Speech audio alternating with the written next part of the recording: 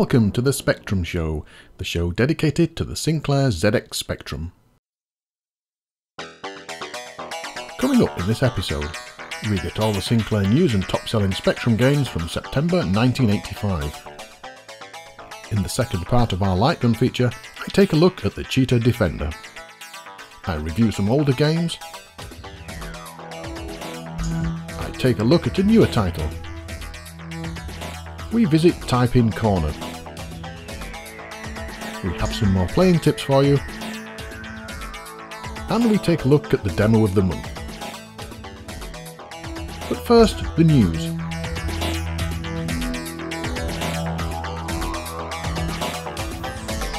After high street retailers cut the price of the QL last month, Sinclair announced their own price reductions.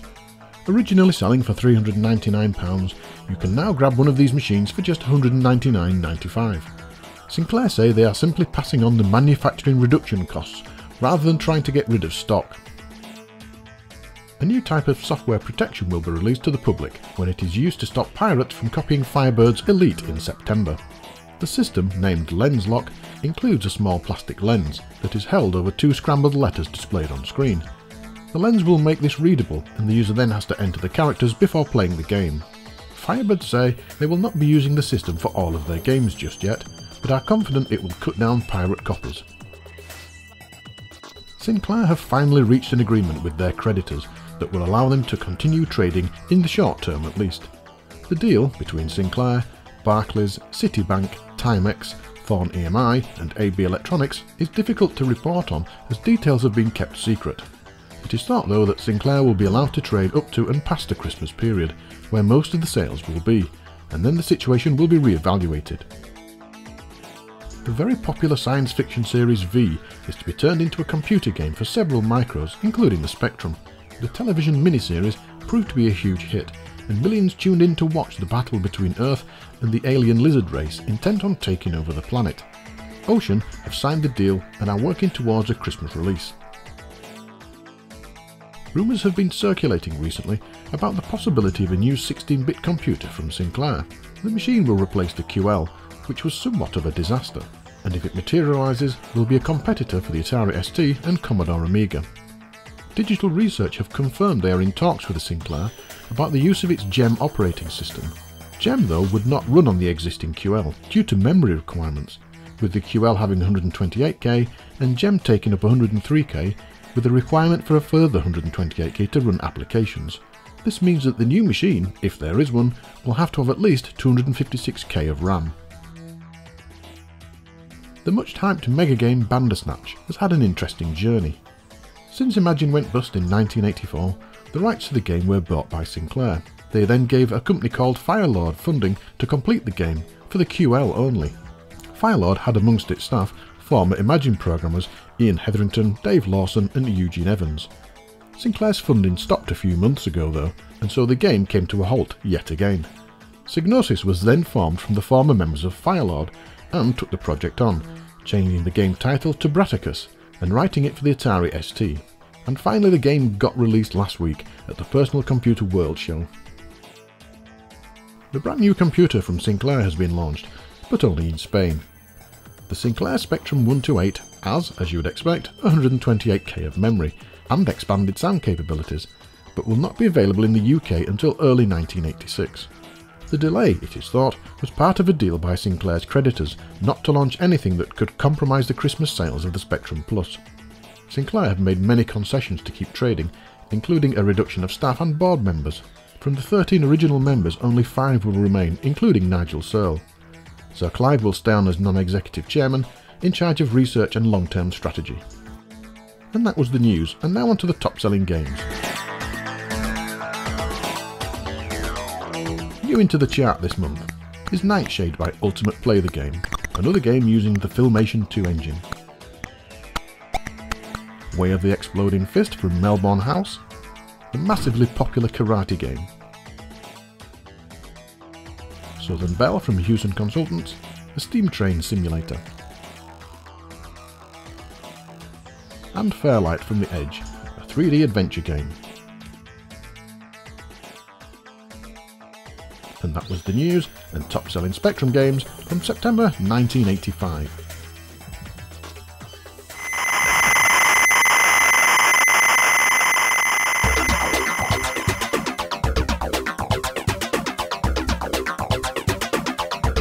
Last month I looked at the Magnum and Sinclair light guns.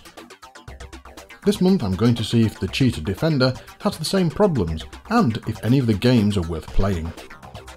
As with last month's feature, because light guns use the raster to get their position information, I had to use my camcorder to film the CRT television, so some of the footage may be a bit rough. Onto the gun then, and it definitely feels much more sturdy, more so than the Sinclair and Magnum guns and it's made from a hefty piece of plastic.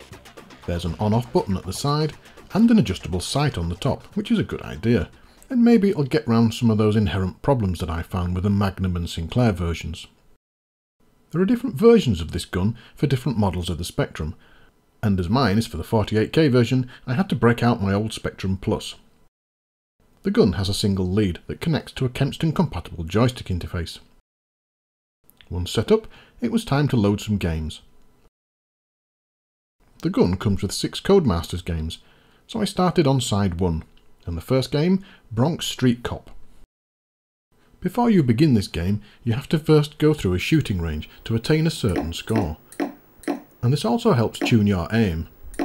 This is a basic shooting gallery with pop-up targets. Mixed in with the bad guys are old ladies that obviously you shouldn't be shooting.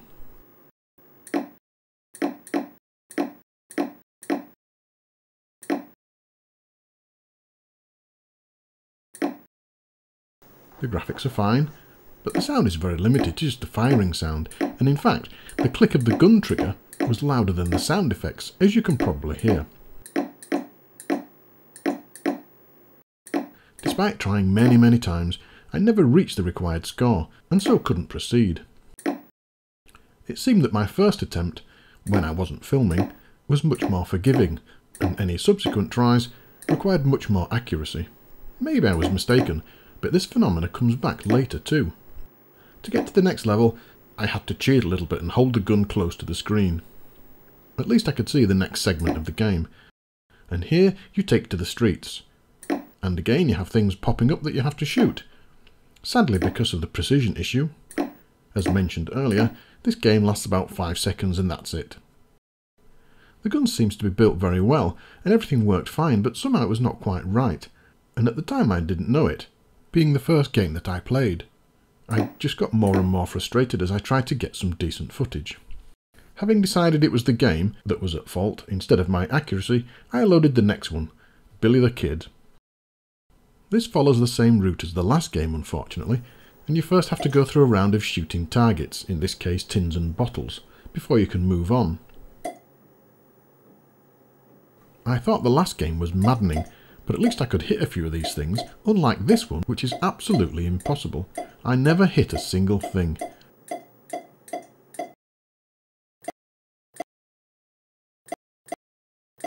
And to prove the game was working, I held the gun to the screen, and even then you had to be pixel perfect to hit anything. By now over three hours had passed, and I was about to throw the thing out of the window. Why release a game that just doesn't work, or requires far too much accuracy that no one will be able to actually play it. Crazy. Anyway, let's try another game before I go absolutely mad.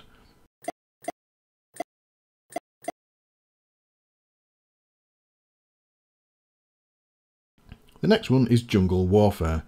It's a kind of Operation Wolf ripoff. You're thrown into the jungle and have to kill everything. There are jeeps, helicopters and various soldiers to hit, and some of them fire back. There's also extra ammo to pick up, and missiles and knives to dodge. As with the first game, my first attempt at this proved good, and I really enjoyed it, and I almost got through to the next level. I had something like a 90% accuracy rating.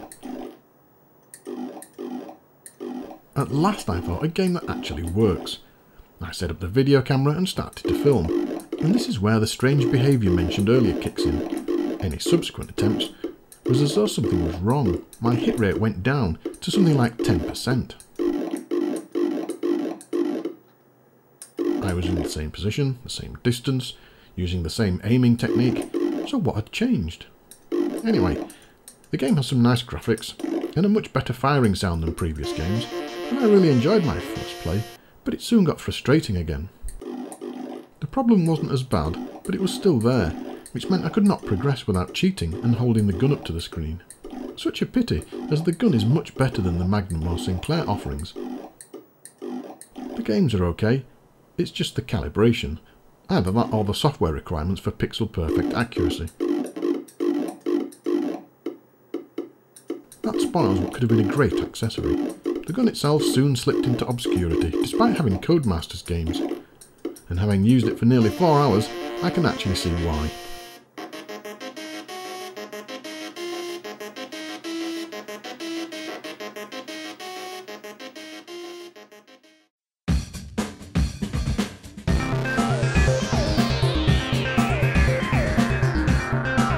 Seeing a zone of space on your space map, labelled as forbidden, is an open invitation to any wannabe hero.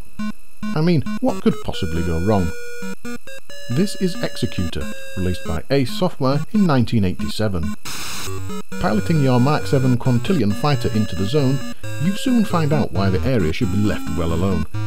But there's no turning back now, and you have to fight on. Yes, it's a shoot 'em up, and a good one too. It follows the usual rules. Fly through a vertically scrolling area, shoot things, collect power-ups, and get as far as you can. The graphics and scrolling are really great and very smooth, very colourful and full of detail.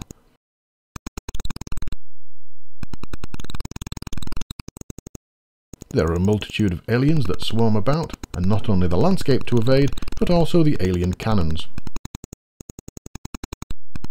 Starting with a simple laser, the game is tricky until you get some power-ups. But it's all too easy to lose them again should you crash into anything or get hit by an alien. Anyone who's watched my shows before will know that I love shoot 'em ups. So for me this is a great opportunity to play a game that I hadn't seen before. It took me a while to get into it, and I'm still struggling really. The initial level has very little manoeuvring space, and it's all about avoiding the enemies and trying to collect power-ups. My initial attempts were poor, and I was lucky if I lasted about 10 seconds, but I still wanted to keep going. After many plays I finally got a little bit further, but it's still a very difficult game to beat. The graphics as mentioned before are great, and the sound works really well. Control is by keyboard or a variety of joysticks, and is responsive. The power-ups range from better weapons, speed-ups, missiles, shields and pods, you know, the usual stuff. The collection method, however, takes a bit of getting used to. Destroying a group of aliens will leave behind a power object, and this power object, when collected, will give you the item on your control panel to the right. However, if you don't want it, you can opt to wait for a better one, and to do this you simply destroy the power object. The icon on the panel will change to show you what the next power-up will be. Shoot a bunch of aliens and the power object appears again, and if you collect it, you get the power-up. Keeping track of the power-ups can be difficult with so much going on, so my tactic was to grab everything as quickly as possible, otherwise the game won't last very long. There's also end of level boss battles, where you have to destroy the large motherships to go on to the next level. It's all here.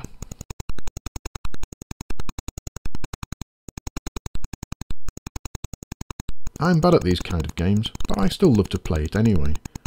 This is a fine example of the genre too, produced late in the Spectrum's life, and showing the coding skills of that period. The game as it was published contained errors that caused graphic glitches. A fixed version is available on the World of Spectrum. So if you're a fan of this type of game, then it certainly ticks all the boxes and is highly recommended, even though it is a bit difficult.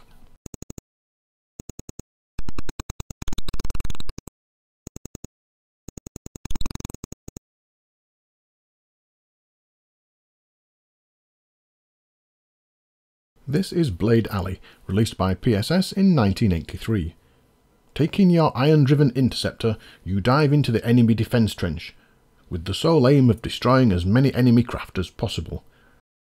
Taking its lead from the Death Star scene in Star Wars, this game is a basic 3D shoot 'em up. There's no more backstory, just get in and kill stuff.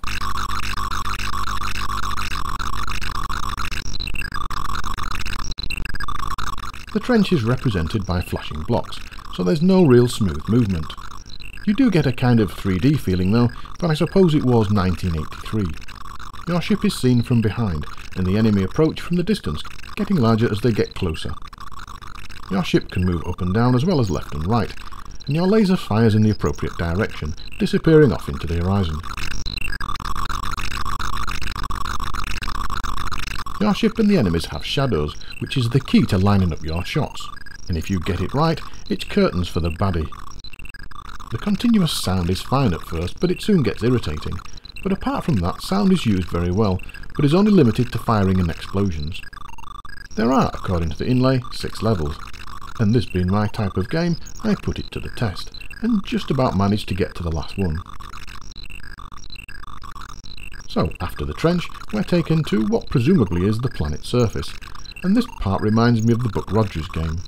This also brings additional enemies that bounce along the ground. Luckily though, you can't crash into the ground, so hitting these is usually easy.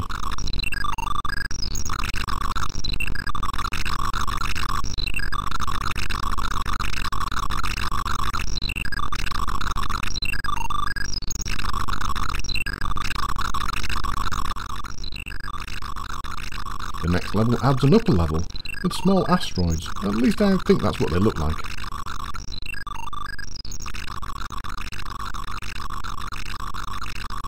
And then next we have a moving horizon, which works really well.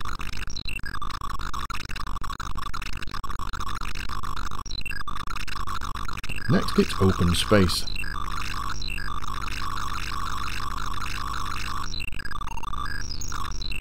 And then we have what looks like a trench but without a top or bottom. Again with all the usual aliens flying about. To complete each level, you have to destroy a number of sources, and these are indicated in the bottom left of your control panel.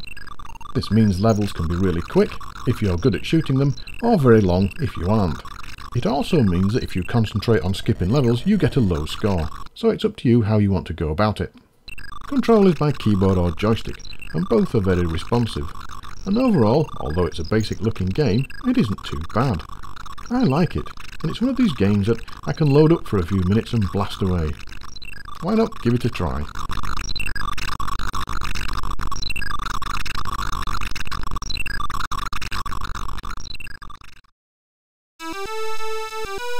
It seemed that in the 80s, ninjas were cool, and there were hundreds of games and television shows about them. This is Ninja Master, from Firebird released in 1986.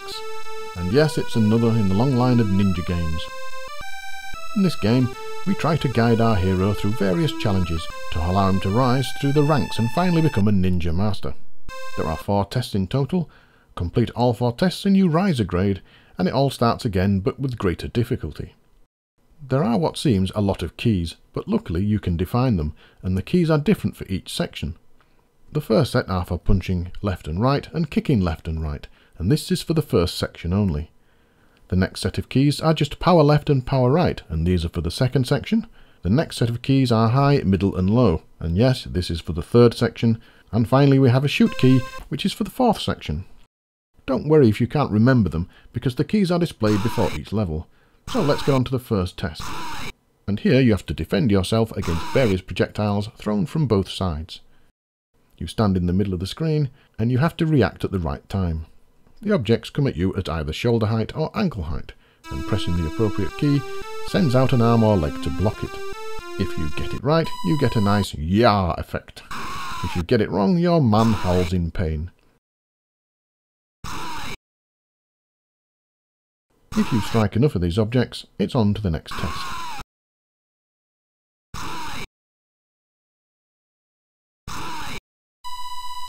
Here you just have to press the two power keys alternately to build up your power until you have enough to break the piece of wood. This section is very much like Daley Thompson's Decathlon or other running games where you just keep pressing left and right. As you hammer at the keys a little power meter rises and there's a countdown. If you've got enough power, when the counter reaches zero, your man can smash the piece of wood. Get this right and it's on to the next test. And here we have objects thrown at you from the right hand side. They can be either high, middle or low, and you have to press the appropriate key to block them. Some of these objects move quite fast, and this is the part of the game that is most tricky.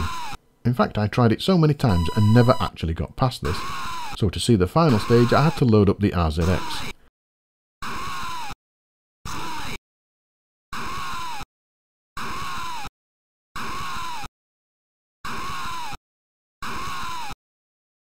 And here you have a ninja with a gun that has to shoot tin cans. Obvious ninja training there. The graphics are okay, although the animation is a bit jerky, with only really two positions per action.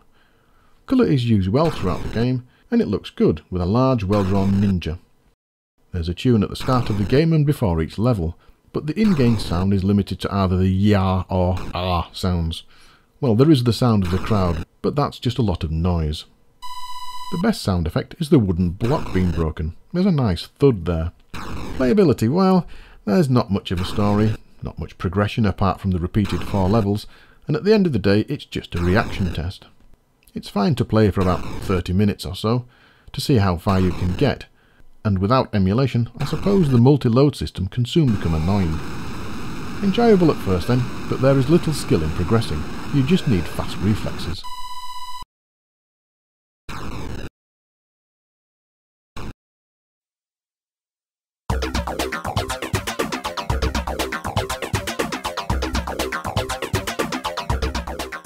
This is Flynn's Adventures in Bombland, released by Tom Dolby in 2001. I expect most people have played Bomberman in one form or another.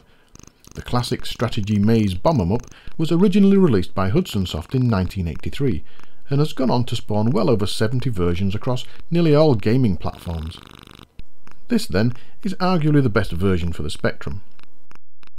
There is a plot, something about rescuing friends, but did anyone ever pay attention to this? I don't think so. So the game at heart is just level after level of maze bombing action. The idea, for those who have never played this type of game, is quite simple. Drop the bombs to destroy the enemy, blow up blocks, reveal extra points and bonuses, and find the exit, and of course don't die.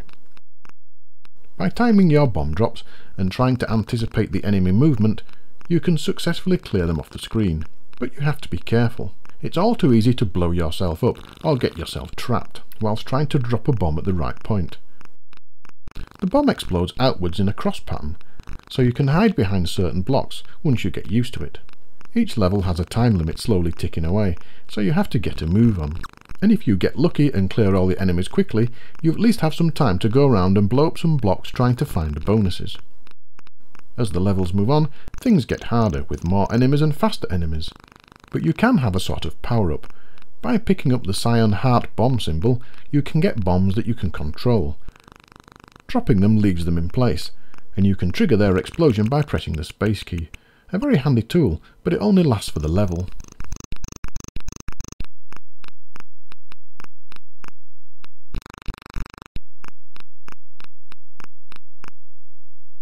If you manage to survive the first stage, it's on to the next one, with a graphics change, and here we have a nice green maze, with different enemies.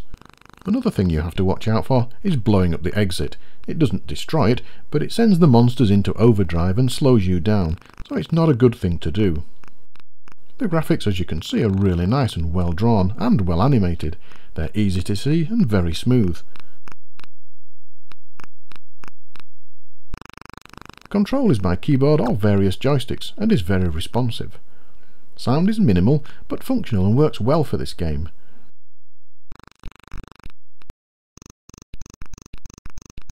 The gameplay is brilliant and very addictive, classic Bomberman style, with plenty of fast and furious action. This is definitely recommended.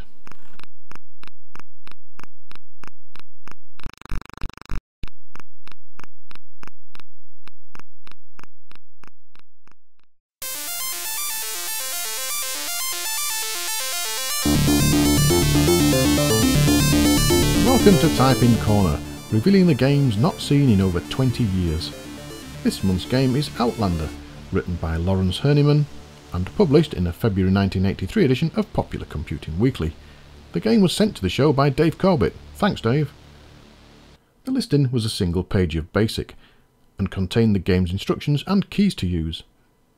The idea is that you have to guide your spaceship around the landscape, drop bombs on the buildings, and then land on the landing pad. The problem is you have a limited amount of fuel to do this, but luckily unlimited bombs. The movement is in character squares, which can be a little tricky, and the controls can be a bit sluggish.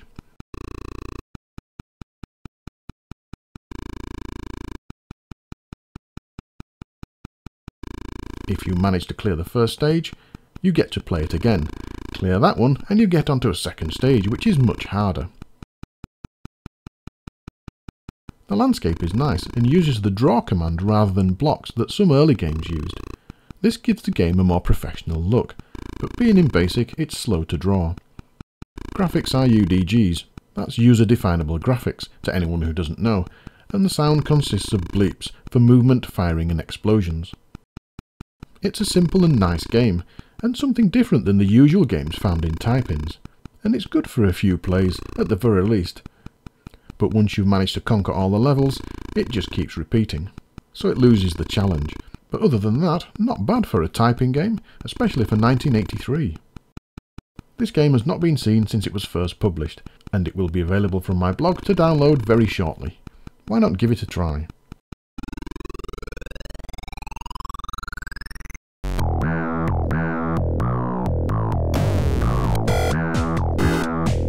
Hello, and today on Playing Tips we're going to take a look at Jet Set Willy.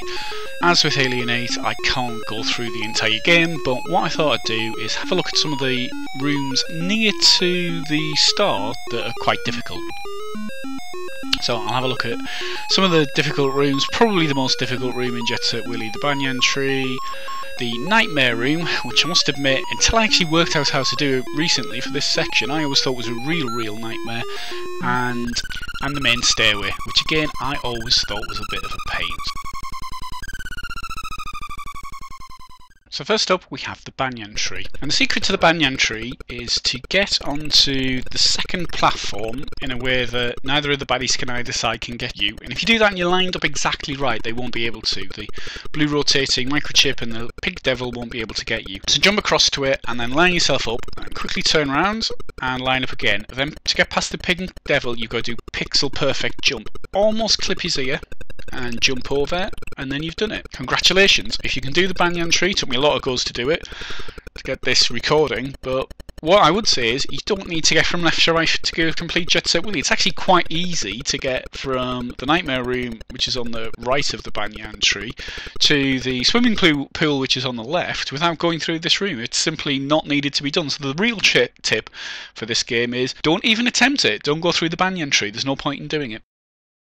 Next up we have the Nightmare Room. And what you do in the Nightmare Room is enter from the left hand side and you want to jump under the first Maria, over the second, then a long jump under the foot in the Maria and land on that platform and quickly get your wings vertical. You're then safe to jump over to the next platform and grab the object. Then turn around and move back a bit, and that purple Maria, you want to jump under her and onto the platform to her left at the bottom from the position you're in at the moment.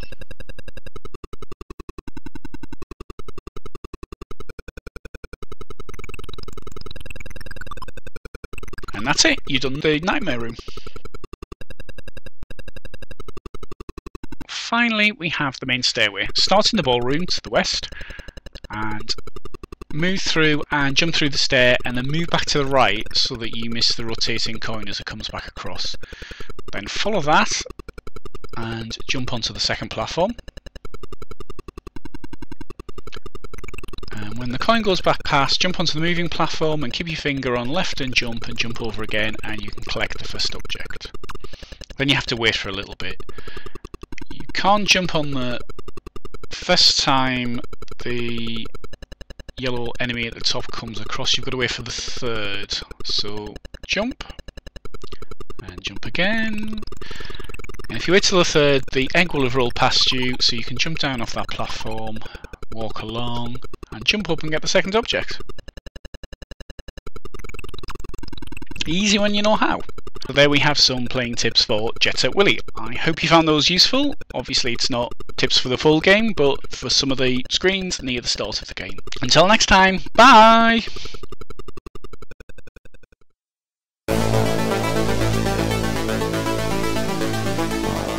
It's time for my demo of the month, and this month's demo is Micro by Jemba Boys, released in 2014.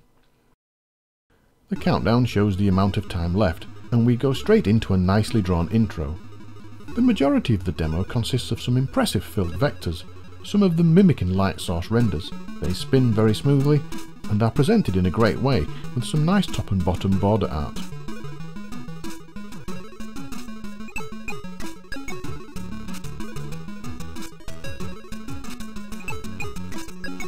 Other sections in the demo are normal vectors, again very smooth. There's also another hard to describe effect. If it was on an Amiga, I would say it was a blitter effect, but it's still impressive. The music suits the demo really well too. It's just a pity that it doesn't last very long.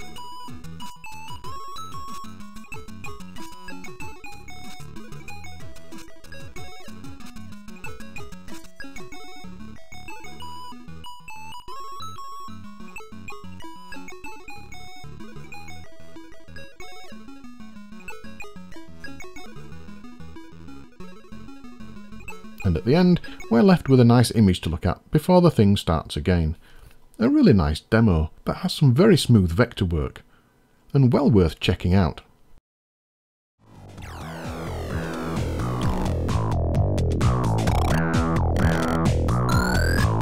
Well, that's the end of this episode. I hope you enjoyed it and thanks for watching. You can get in touch by using the details on screen. See you soon.